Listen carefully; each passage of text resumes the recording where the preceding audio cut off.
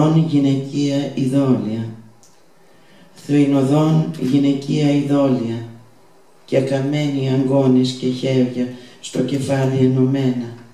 Ένα φύ σχηματίζουν που κλαίει, άλλες πάλι με τη μια τους παλάμη ενωμένη και την άλλη στο στήθος, σαν να τύπτουν τον πόνο, να τον κόβουν κομμάτια.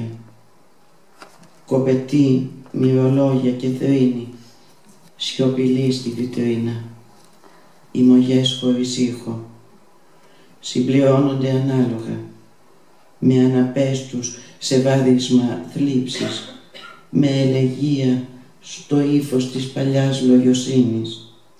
Δακρυώεν πολυπενθές ολοφυθνών λάιων μνήμα. Με οι άμβους πικρούς για τα ατέλειωτα πάθη του κόσμου.